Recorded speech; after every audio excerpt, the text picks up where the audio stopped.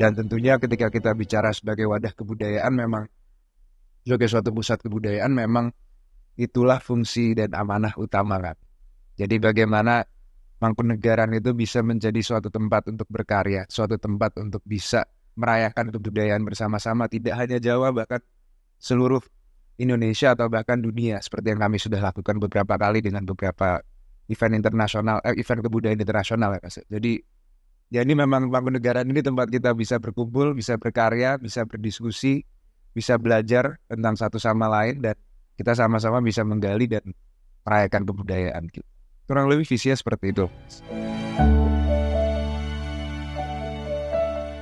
Jadi Mangkunegaran ini kami membina beberapa uh, departemen kesenian, khususnya ya di bidang tari, di bidang karawitan, dan juga di bidang pendalaman. Oh dan satu lagi keroncok. Jadi ya yang balik baru. ya ini yang tiga ini berjalan sudah untuk waktu yang sangat lama ya mungkin keroncong ini yang, yang lebih lebih baru lah mungkin sekitar tahun lalu ya jadi ya tentunya kembali lagi ya kenapa kami uh, mempunyai departemen kami sendiri karena ya kami ingin mengembangkan mereka dan menjadikan bagaimana melalui Mangkunegaran para pelaku seni ini juga bisa berkembang gitu.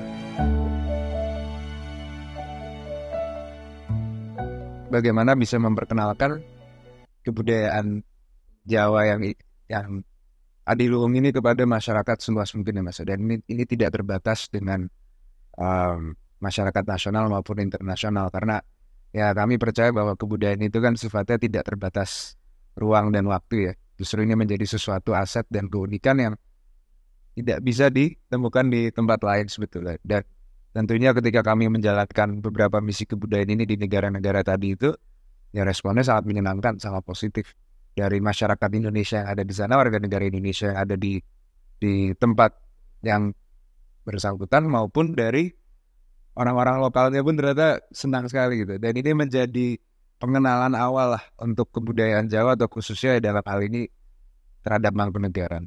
Dan ternyata dari perjalanan-perjalanan itu pun juga banyak kemitraan juga yang jaringan yang kami bentuk juga selama di sana.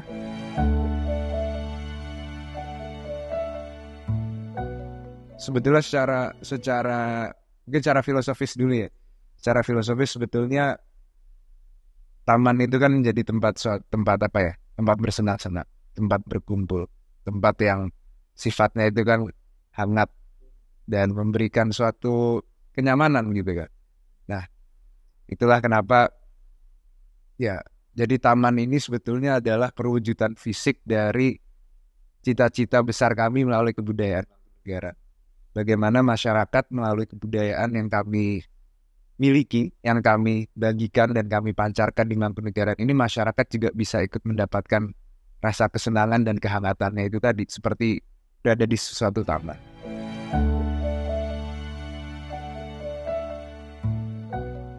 Harapan saya sudah cukup simpel ya sebetulnya. Harapan saya cukup simpel. Yang penting apa yang kami lakukan di sini itu bisa membuat masyarakat tuh senang aja. Sebetulnya itu aja senang dan juga bisa ikut bangga bahwa ya kita sebagai masyarakat Jawa atau khususnya masyarakat Kota Solo ini masih mempunyai suatu kebudayaan dan suatu pusat kebudayaan di Mangkunegaran yang menjadi bagian dari identitas kita semua.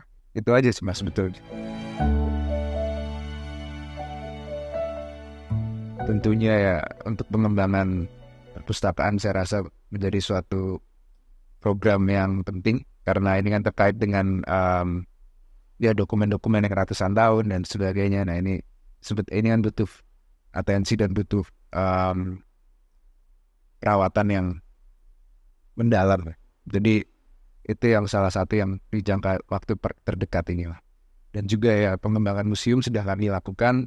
Um, harapannya di bulan Agustus atau September kita bisa buat dulu pameran temporer lah. Jadi ketika pengunjung datang ke Mangkunegaran itu juga ada engagement, ada interaksinya dengan dengan uh, cerita-cerita sejarah, cerita-cerita zaman dulunya lah gitu. Jadi itu sedang kami garap ya. Semoga di bulan September lah atau Agustus nanti kita bisa perkenalkan kepada para pengunjung yang datang ke Mangkunegaran.